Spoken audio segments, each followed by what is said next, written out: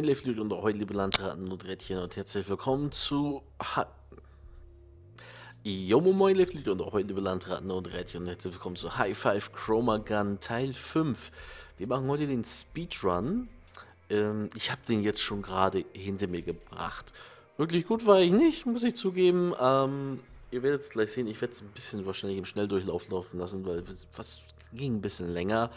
Ähm, ich kannte ja auch nur durch ähm, die, die ersten vier Videos so ungefähr, wenn ich das jetzt grob berechnen würde, vielleicht 25, 30 Prozent der gesamten Spielwelt. Der Rest war völlig blind.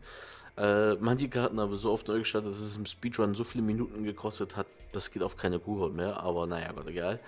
Ähm, ja, ich würde sagen, ich wünsche euch jetzt noch viel Spaß bei diesem letzten Video für High Five. Äh, wie gesagt, vergesst nicht in die Kommentare zu schreiben, wie hat euch das Spiel gefallen, ähm, wie gefällt euch das Format und wenn euch alles gefällt, gebt einen Daumen hoch. Ansonsten Facebook, Twitter, Steam und Coca-Gig findet ihr auch als unten in der Videobeschreibung auch alle Links zum Spiel Chromagant von den Jungs von Pixel Maniacs und ich bedanke mich noch einmal bei Chris und jetzt viel Spaß beim Speedrun. Naja, slow speed run.